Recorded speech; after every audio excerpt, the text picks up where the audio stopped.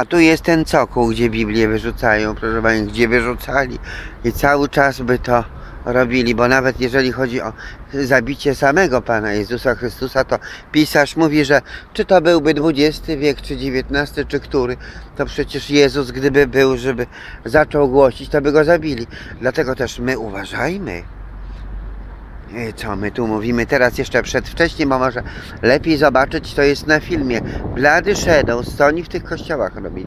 W kościele katolickim, w kościele grekokatolickim, w cerkwi, przecież tutaj my nie usprawiedliwiamy baciuszek i nie mówimy, że baciuszki są lepsze niż to, co tam w tym kościołach katolickim dzieje się. Lepsze, bo to prawo, prawo, ale tam też prostytucja, tam też w Smolnym, w instytucie na terenie dzisiejszej Białorusi i też lesbijki były, księża homoseksualiści i sam Mussorgski.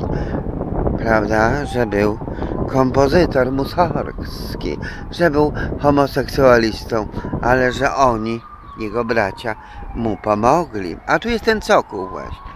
Biblia w śmietniku. Boga nie ma, Bóg tego nie widzi, że Biblia w śmietniku.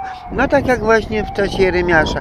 Jachwę nas nie widzi, Jachwę opuścił ten kraj. Czego tam oni nie robili? Prostytucja świątynna.